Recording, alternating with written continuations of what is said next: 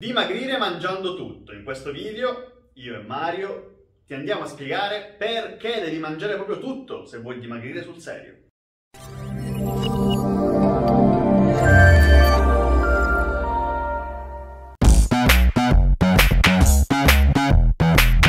chiamo Mario e Valerio, dottori nutrizionisti fondatori di Dieta Flessibile Italia e come dice il nome stesso, Dieta Flessibile ti permette di mangiare tutto. Eppure ci sono ancora migliaia di professionisti della salute, se così possiamo dire, che vietano i cibi, che eliminano intere categorie di roba da mangiare, eh, diciamo dando delle motivazioni che possono sembrare più o meno sensate e che quindi ti dicono che per dimagrire devi necessariamente togliere la categoria di cibo X, la categoria di cibo Y, che possono essere chi sostiene che i legumi facciano male, a chi sostiene che faccia male la carne, a chi toglie il glutine, i latticini e così via. In questo video vedremo in realtà che si può benissimo dimagrire mangiando tutto come fanno le migliaia di persone che sono all'interno della nostra community gratuita su Facebook, nel, che seguono le nostre pagine social e che hanno capito che per dimagrire realmente non serve eliminare alcun cibo. Quindi cominciamo subito col vedere gli errori comuni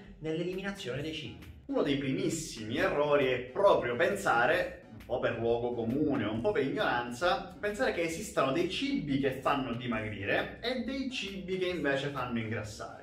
La verità è che ad oggi la scienza e la ricerca scientifica esiste giusto da un pochino di anni, non ha assolutamente dimostrato che sia vero. Cioè la scienza, la ricerca, tutti i test, tutte le analisi e tutti gli studi condotti su persone a dieta hanno dimostrato che non esistono dei cibi che fanno ingrassare e non esistono dei cibi che fanno dimagrire. Semplicemente chi ingrassa ingrassa perché mangia troppo, mangia più calorie di quelle che è in grado di bruciare, chi perde peso lo perde perché mangia meno calorie di quelle che è in grado di bruciare. Infatti è verissimo, esistono dei cibi che sono più densi di calorie rispetto ad altri. Quindi se noi facciamo una dieta, diciamo, ad eliminazione casuale, cioè togliamo un po' di roba in modo che mangiamo meno e in teoria dimagriamo, questo approccio può funzionare solamente quando noi eliminiamo determinate categorie. Quindi vai a fare una dieta a sensazione, mangiando cibo più sano, più pulito, perché i cibi sani e non sani invece esistono, e che fai? Probabilmente elimini dei cibi molto densi di calorie.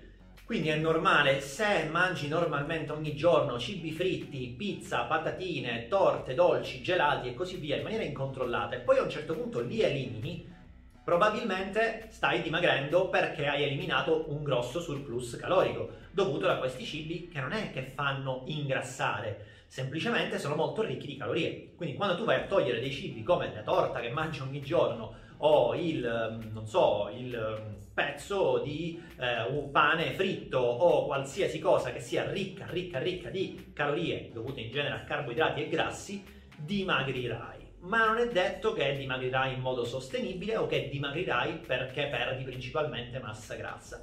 Infatti nell'approccio alla dieta flessibile noi possiamo inserire tutti questi cibi controllando le porzioni e la quantità, grazie all'approccio basato sul calcolo e la registrazione dei macronutrienti che assumi durante la giornata. Vediamo adesso l'errore numero 2. L'errore numero 2 che ti fanno fare quando ti fanno eliminare un'intera categoria di alimenti è proprio il fatto che eliminare un'intera categoria, mettiamo i carboidrati, no? quelli più odiati, più gettonati quando bisogna fare la dieta, eliminare i carboidrati ti espone a delle gravi carenze nutrizionali. Devi capire che ci sono dei micronutrienti che è possibile ottenere solo mangiando una specifica categoria alimentare. Facci caso, tutte le diete drastiche a eliminazione, anche quando te le propone un professionista e te le propone il più delle volte per comodità, perché per lui è troppo pesante spiegarti come dovresti gestire l'alimentazione, per lui è molto più facile dirti guarda elimina questo e poi sono cavoli tuoi. Se ci fai caso, tutte queste diete poi ti spingono, ti costringono, tra virgolette, a integrare con una qualche forma di integratore alimentare, di magari vitamine, di sali minerali, di micronutrienti essenzialmente. Perché? Perché farti eliminare i carboidrati nel loro complesso ti porta poi a trovarti carente in determinati micronutrienti. Allo stesso modo con i grassi, allo stesso modo se dovessi mangiare un quantitativo molto ridotto di, non so, proteine magari di origine animale. È vero, anche noi abbiamo ad esempio una linea di integrazione alimentare, ma la dieta flessibile ti permette di essere seguita senza essere costretto a integrare. Ad esempio è consigliato integrare sali minerali, vitamine o se fai sport, creatina, proteine in polvere e così via per avere una migliore performance, per gestire più facilmente la propria dieta, ma se segui una dieta bilanciata, come la dieta flessibile fatta con tutti i criteri giusti però, cibo 80% sano e 20% quello che vuoi, macronutrienti corretti, non avrai l'obbligo di integrare è vero che oggi la qualità dei cibi è un po' più scarsa rispetto al passato, quindi magari se mangi frutta e verdura oggi sicuramente non avrai gli stessi micronutrienti di frutta e verdura di 40 anni fa. Però Comunque, con una dieta sana ed equilibrata, introducendo tutti i macronutrienti, carboidrati, grassi e proteine, non devi essere costretto ad assumere integratori per forza. Invece sono intere filosofie nutrizionali che si basano sul fatto che devi comprare determinati prodotti, magari promossi da quel professionista stesso, oppure devi necessariamente integrare qualcosa tipo sali minerali o vitamina B12 e così via, perché sennò quella dieta non si può fare e fa male. Ragionaci se qualcosa deve essere necessariamente dipendente da un oggetto esterno non naturale e alimentare, probabilmente c'è qualcosa che non la rende sostenibile a vita e non la rende perfetta. Quindi pensaci un attimo su. Adesso andiamo a vedere anche l'errore numero 3 nell'eliminare determinati cibi che ti porta a non poter eh, ovviamente dimagrire in modo sostenibile. Errore numero 3, che è quello di cui essenzialmente soffrono praticamente tutte le persone che si rivolgono a noi per essere aiutate, è il fatto che eliminando un'intera categoria di cibi, quindi magari eliminando per sempre, non so, dei cibi processati, eliminando per sempre cibi lievitati, eliminando per sempre una certa categoria specifica di dolci, esponi il tuo intestino all'incapacità di elaborare quei nutrienti. Vedi, se tu elimini quell'alimento, il tuo intestino, che fino a quel momento era abituato a riceverlo, a gestirlo, a scomporlo, a dividerlo nei suoi nutrienti e fartelo utilizzare nel modo migliore per il tuo organismo, dal momento in cui tu lo vai a eliminare, inizia a perdere piano piano, ma in realtà è anche abbastanza veloce in termini di abitudini del tuo intestino, inizia a perdere la capacità a gestirlo appunto. Quindi eliminandolo ti sarà sicuramente successo, pensaci un attimo. Elimini per tanto tempo i dolci dalla tua dieta, elimini per tanto tempo pane e pizza, quindi magari prendiamo in considerazione i prodotti lievitati. Li elimini per uno, due mesi, che sono quelli della dieta, nel momento in cui li vai a reinserire, vedi che ti gonfia lo stomaco, inizi a avere difficoltà digestive, inizi a avere una serie di disturbi, anche abbastanza fastidiosi, e sei portato a pensare che quel cibo eh, non lo gestisco, non fa per me, la mia genetica non mi consente di mangiare la pizza. Bene, ho una notizia per te. Nulla di tutto questo è vero, la tua genetica prevede che tu possa digerire qualsiasi cosa disclaimer, a meno che tu non sia allergico o fortemente intollerante a qualche alimento. Infatti, una delle cose che può capitare normalmente è che una persona si senta meglio eliminando determinate categorie di cibi.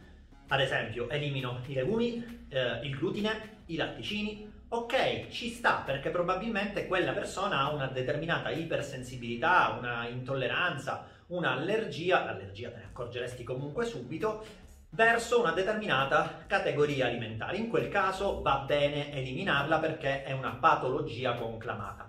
Ma per la maggior parte delle persone che lo fanno anche un po' per moda, per esempio oggi c'è la moda del mangiare senza glutine, non è necessario. Infatti, con la dieta flessibile noi riusciamo a inserire tutto e non avere nessuna, e dico nessuna problematica nel gestire determinati cibi. Perché? Perché lo facciamo seguendo il concetto dell'80-20, quindi l'80% della tua alimentazione è principalmente data da cibi sani, quindi cibi non estremamente processati, non cibi spazzatura, cibi nutrienti, quindi verdure, frutta, cereali integrali, proteine, proteine del pesce, dell'uovo, della carne e così via, e anche quelle vegetali.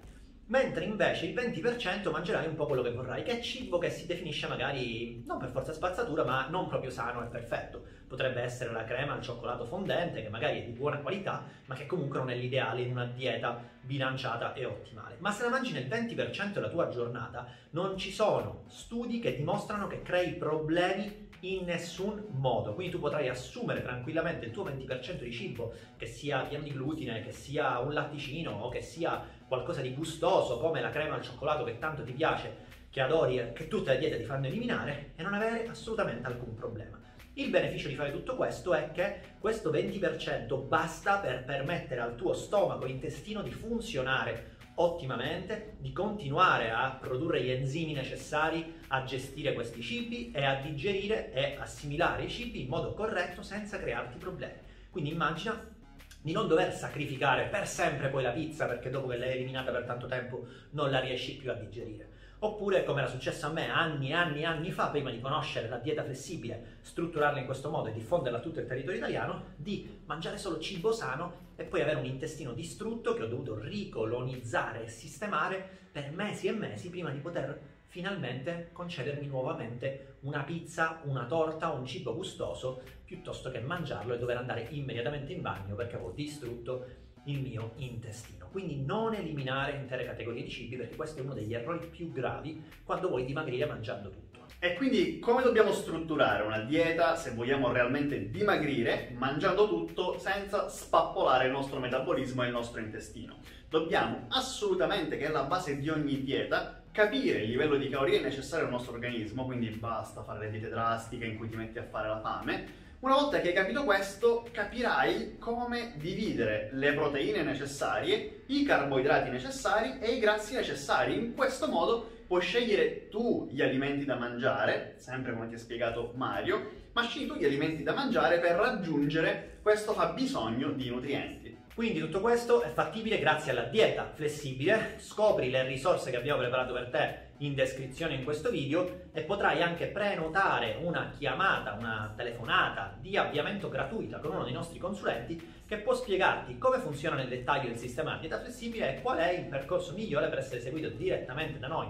dai dottori nutrizionisti fondatori del sistema di dieta flessibile Italia, che hanno trasformato la vita di migliaia di persone ad oggi, in modo tale da far sì che tu possa dimagrire mangiando tutto e non doverti sacrificare ogni volta rinunciando ai cibi che più ami e a soffrire magari ore e ore e ore in palestra per avere un corpo tonico e snello e poi dover riprendere tutto il peso appena smetti di fare i sacrifici e quindi smettere una volta per tutte le diete. Quindi se vuoi smettere le diete restrittive e cominciare una dieta che funzioni davvero e che non sia il classico concetto di dieta che ti faccia snervare e distruggere la vita pur di ottenere il fisico e desideri, controlla i link in descrizione, richiedi una chiamata con uno dei nostri consulenti di avviamento e unisciti a noi nella community di Dieta Flessibile Italia su tutti i canali social. Quindi se ti è piaciuto questo video, intanto per prima cosa metti un like, un pollice in su, dopodiché condividilo e iscriviti ai nostri canali social. Ti basta cercare Dieta Flessibile Italia su tutti i social. Per oggi è tutto da Mario e da Valerio, i fondatori di Dieta Flessibile Italia.